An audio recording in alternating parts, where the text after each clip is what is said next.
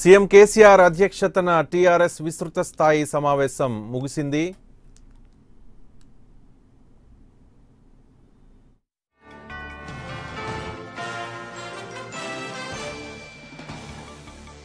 CM KCR అధ్యక్షతన TRS విస్తృత స్థాయి సమావేశం కొద్దిసేపటి క్రితం ముగిసింది. ముందస్తు ఎన్నికలు సెప్టెంబర్ రెండున జరగనున్న ప్రగతి నివేదన సభ ఏర్పాట్లపై చర్చించినట్లుగా తెలుస్తోంది. సమావేశం తర్వాత తెలంగాణ సీఎం కేసీఆర్ ఢిల్లీ వెళ్ళనున్నారు మూడు రోజుల పాటు ఢిల్లీలోనే ఉండనున్న కేసీఆర్ ప్రధాని నరేంద్ర మోదీ అలాగే పలువురు కేంద్ర మంత్రులతో సమావేశమవుతారు.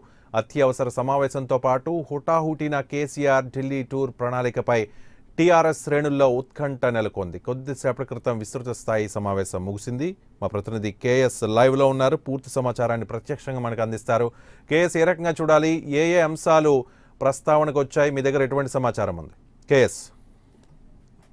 తెలంగాణ భవన్లో ముఖ్యమంత్రి కేసీఆర్ అధ్యక్షతన జరిగినటువంటి పార్టీ విస్తృత స్థాయి సమావేశం ముగిసింది. కొద్దిసేపటి ముగిసింది. ముఖ్యమంత్రి కేసీఆర్ తెలంగాణ భవన్ నుంచి ప్రస్తుతం ఢిల్లీ వెళ్ళేందుకు బేగంపేట ఎయిర్పోర్ట్కు వెళ్తున్నట్టు మనకు సమాచారం. అయితే ఏం జరిగింది? ఈ అంశంపై మనతో మాట్లాడేందుకు ఆర్మూర్ ఎమ్మెల్యే జీవన్ రెడ్డి ప్రస్తుతం మనతో ఉన్నారు. సీఎం ఏం చర్చించారండి? చర్చకేముంది? జా- సాధారణంగా మా ఎల్పీ పార్లమెంటరీ మీటింగ్ జరిగింది కాబట్టి. దీంట్లో ప్రధానంగా గౌరవనీయులు రాష్ట్ర ముఖ్యమంత్రి కేసీఆర్ గారు రేపు జరగబోయే రెండవ తారీఖు నాడు సభ.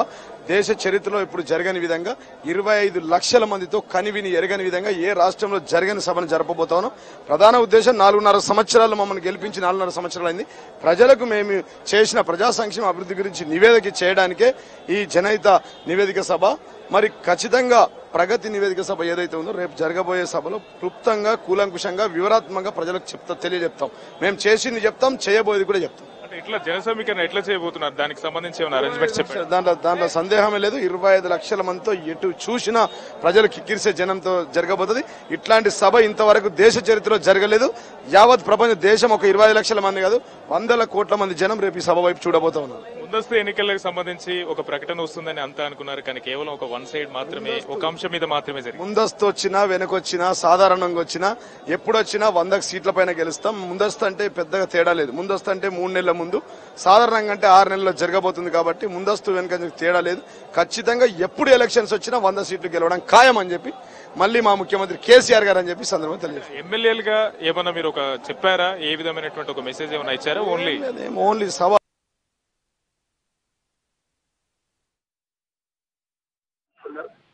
తెలియజెప్పడం రైట్ ఇది ఎమ్మెల్యే జీవన్ రెడ్డి చెప్తున్నది రవి. అయితే మనకంటున్నటువంటి సమాచారం మరి చూస్తే ఓవరాల్గా ఈ సమావేశం అంతా కూడా కేవలం ఒక ఎజెండా ఒక ఎజెండా మీద మాత్రమే జరిగింది.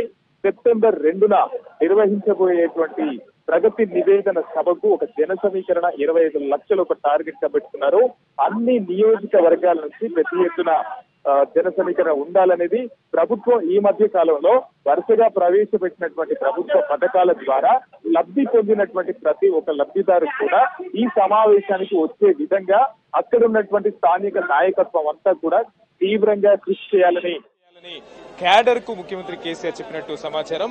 దీంట్లో భాగంగా మొత్తం తెలంగాణ వ్యాప్తంగా ఒక ఎనిమిది వేలకు పైగా ఆర్టీసీ బస్సులతో పాటు మరొక ఎనిమిది వేలకు పైగా విద్యా సంస్థలకు సంబంధించినటువంటి వాహనాలను ఈ యొక్క జన సమీకరణకు ఉపయోగించుకో ఉపయోగించుకోబోతున్నారు.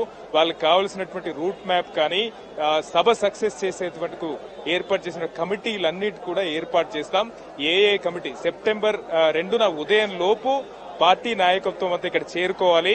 సాయంత్రం నాలుగు గంటల వరకు పబ్లిక్ అంతా కూడా గ్రౌండ్కి చేరుకునే కుంగరకలంలో ఉన్నటువంటి గ్రౌండ్కు చేరుకునే విధంగా చూడాలనేది కేవలం ఒక ఎజెండా మీద మాత్రమే ముఖ్యమంత్రి కేసీఆర్ మొత్తం క్యాడర్ అంతా క్యాడ్- క్యాడర్కు దిశానిర్దేశం చేశారు. అయితే ముందస్తు ఎన్నికలకు సంబంధించి అయితే ఏదైతే ఒక ప్రకటన చేస్తారనుకున్నా కానీ ఈసారి కూడా చేయలేదు. దీన్ని బట్టి మనకు అర్థమయ్యేది ఏంటంటే ఢిల్లీ వెళ్ళిన తర్వాత ఈ మూడు రోజుల పాటు మంత్రులతో కానీ రాష్ట్రానికి రావాల్సినటువంటి కొన్ని ఇంపార్టెంట్ ప్రాజెక్ట్స్ అన్ని సాధి సాధించిన తర్వాత మోడీతో కలుస్తారు. మోడీతో కలిసిన అనంతరం ఎన్నికలకు సంబంధించి మోడీ దగ్గర ప్రస్తావించే అవకాశం ఉన్నట్టుగా తెలుస్తుంది.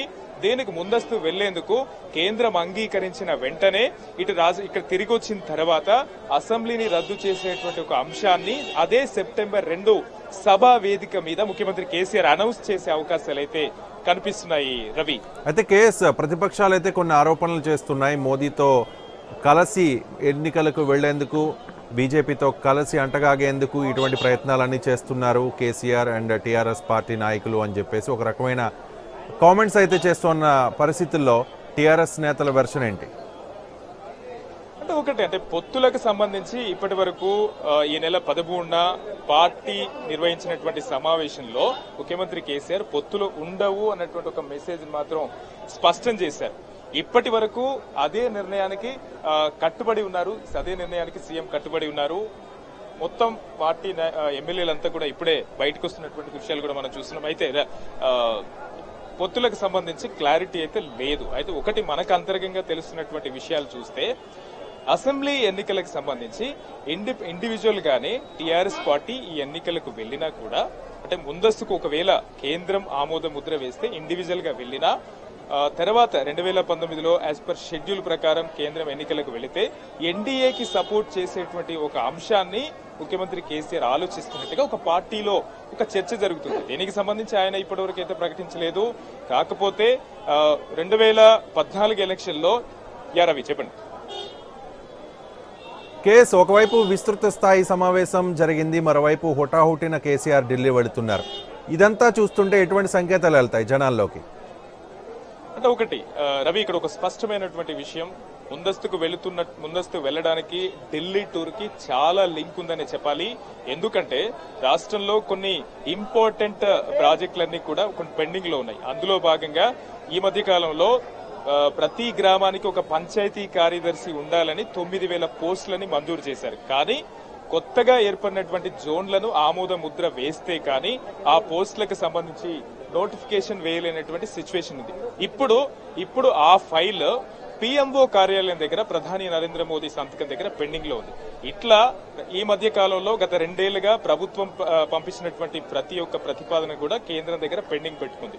ఒకవేళ ముందస్తు ఎన్నికలకు వెళితే ఇవన్నీ కూడా ఒకటి తీర్చినటువంటి నిర్ణయాలుగానే ఉంటాయి కాబట్టి ఇప్పుడు ఈ ఢిల్లీ పర్యటన ఒక రెండు రకాలు. ఒకటి రాష్ట్రానికి రావాల్సినటువంటి సాధించే అంశం మరొకటైతే పొలిటికల్గా కేంద్రం దగ్గర ఒక సపోర్ట్ తీసుకునే అంశాన్ని. ఈ రెండు అంశాలను ప్రస్తావించేందుకు కేసీఆర్ ఢిల్లీ వెళ్తున్నారు. నిన్న రాజీవ్ శర్మ ఎన్నికల సిఈసి ఎన్నికల ప్రధాన అధికారిని కలిసిన తర్వాత వెంటనే సాయంత్రం ముఖ్యమంత్రి కేసీఆర్ ఢిల్లీ వెళ్తున్నట్టు కూడా సీఎంఓ ప్రకటించింది. అంటే రాజీవ్ శర్మ వెళ్ళిన తర్వాత మేబీ ఒక కేంద్రం సపోర్ట్ మస్ట్ కావాల్సినటువంటి ఒక సంకేతాలు రావడంతో రాజీవ్ శర్మ ముఖ్యమంత్రి కేసీఆర్కు సమాచారం అందజేశారు.